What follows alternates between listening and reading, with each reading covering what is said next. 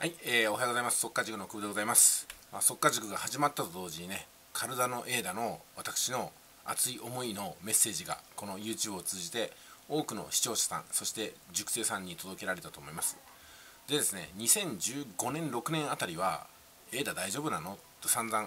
言われましたし、それが2017年にはね、一時的な喜びあったものの、その後の下落で、やっぱり体の大丈夫なのかっていうふうな意見ありましたけども、おかげさまで、今日ステーキング報酬が入るようになって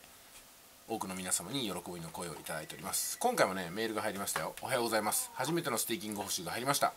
207 ADA です。これを5日ごとにいただけるなんて嘘みたいです。本当に嬉しいです。ということだったんですけどもおおむねね投稿はあ匿名でさせていただきますけども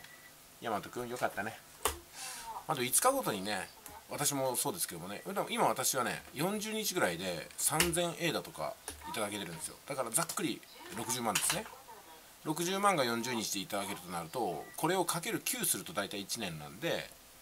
まあ500万から600万の間かなと。もちろん体の枝は今一時的に価格が200円を切ったといってもどんどんどんどん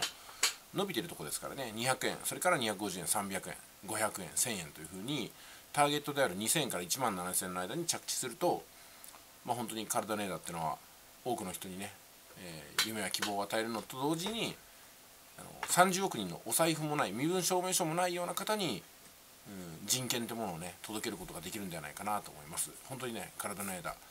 素晴らしいと思います。これからも多くの方が体の枝に携わりそしてステーキングに関わることによってその透明性が担保されてそして多くの方が体の手にすることによって価格がぐっと押し上げられることをね本当に望んでおります、えー、次の時代に向かうには体の枝は必見でございます。私はそういうふうに思います。